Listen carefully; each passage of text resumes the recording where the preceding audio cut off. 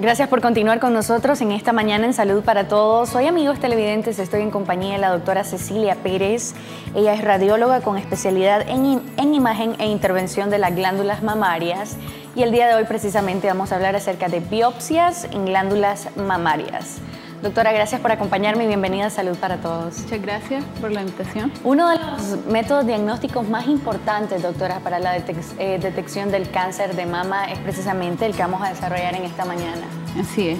Eh, es muy importante saber los métodos diagnósticos de, para detectar cáncer de mama y una vez que los detectamos, como es la mamografía, el ultrasonido, además del examen clínico, es una vez que detectamos una lesión, eh, biopsiarla y saber qué tipo de lesión es, porque a veces podemos ver nódulos en la glándula mamaria y puede ser que sean nódulos benignos, pero eh, solo se confirma por medio de histopatología.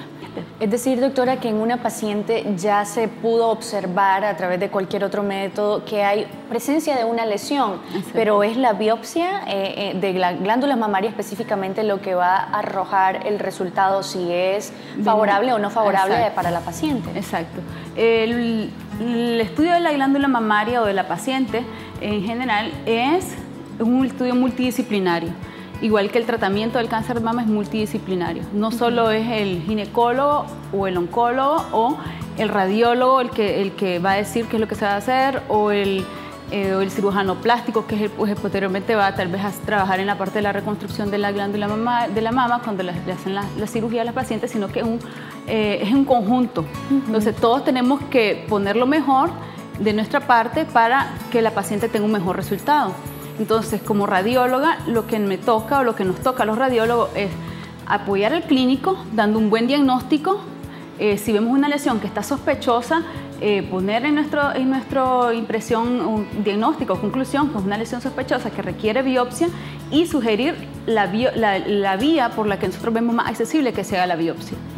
Eh, muchos médicos pues toman el consejo que nosotros recomendamos y eso es lo mejor, pues porque a veces eh, son lesiones pequeñas que solo nosotros la podemos eh, ver por los medios diagnósticos que tenemos y evitan que la paciente se, se haga una cirugía muy amplia cuando se le pudo haber quitado solamente esa parte para decir si es benigno o es maligno.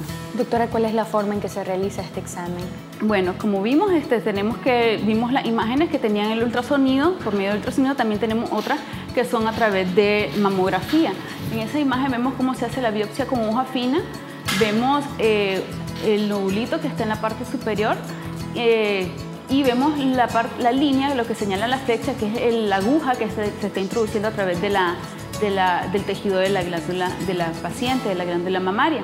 El transductor es lo que nos guía y que nos guía a nosotros para poder ver lo que estamos realizando.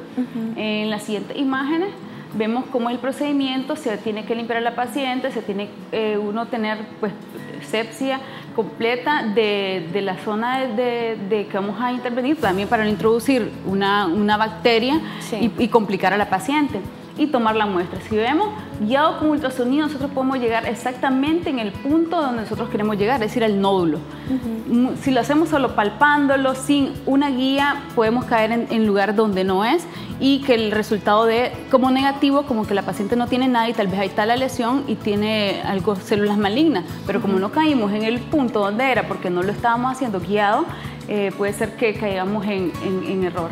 Ahí vemos cómo nosotros eh, confirmamos que estamos dentro de la lesión, así en el plano sagital vemos toda la aguja que está atravesando la lesión y en el plano transverso que vemos que la, puntita está en el centro del nódulo. Entonces ahí confirmamos que estamos exactamente en la lesión. Doctora, vamos a hacer una pequeña pausa comercial. Al regresar platiquemos con nuestros amigos televidentes acerca si hay alguna forma o algún método de preparación antes de realizar este examen. Regresamos con más amigos televidentes de Salud para Todos.